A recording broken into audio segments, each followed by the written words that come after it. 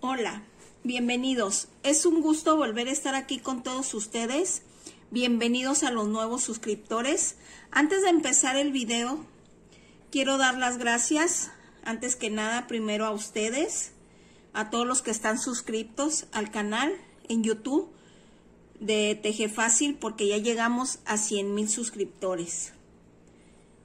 Muchas gracias por darle clic a suscribirse, por dejar sus comentarios, por dejar un me gusta y por seguir mis videos tutoriales. También le quiero dar las gracias a nuestros patrocinadores que son Hilos Omega. Muchas gracias a ellos y a la Nego también.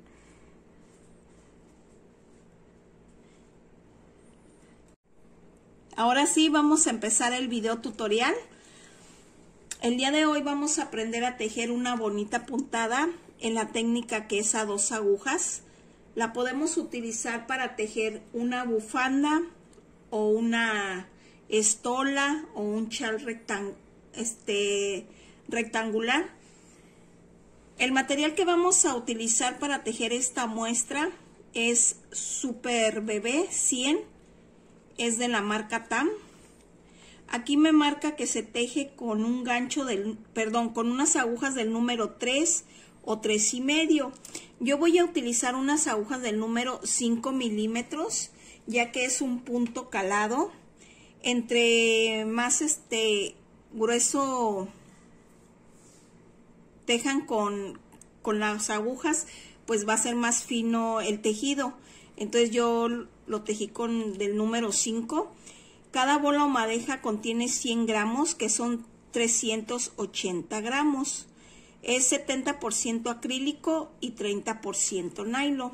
Yo escogí este hilo porque es delgado, es este muy suavecito. Ahorita van a ver ya el punto terminado para que vean cómo, cómo queda. Empezamos. Para tejer esta muestra vamos a tejer, a montar números, número impar.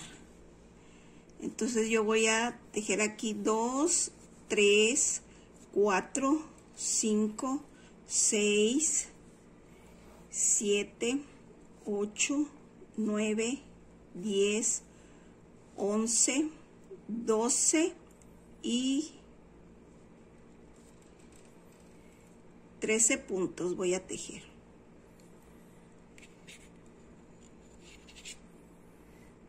Vamos a contar 2, 4, 5, 6, 7, 8, 9, 10, 11, 12, 13. Aquí vamos a hacer nuestro nudo para que no se nos recorra el, el estambre. Hacemos uno y dos. Sacamos una aguja y vamos a empezar.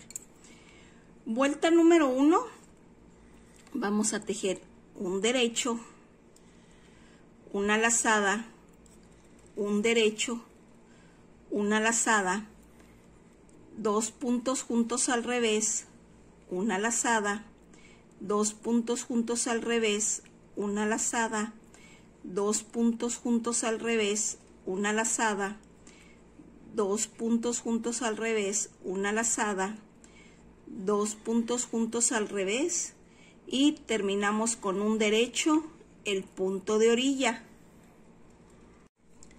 Vuelta número 2.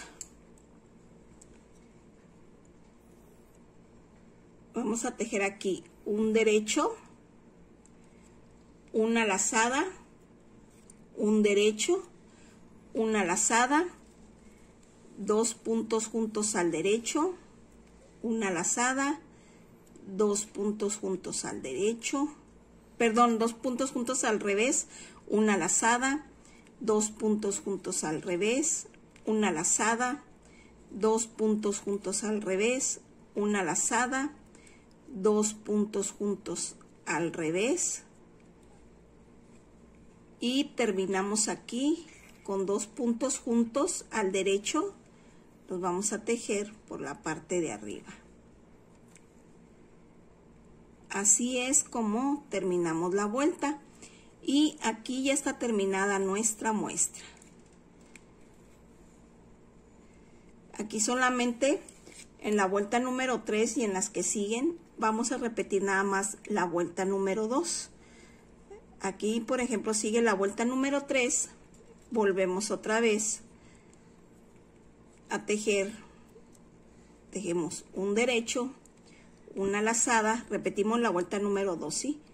Un derecho, una lazada, dos puntos juntos al revés, una lazada, dos puntos juntos al revés, una lazada, dos puntos juntos al revés, una lazada, dos puntos juntos al revés, una lazada,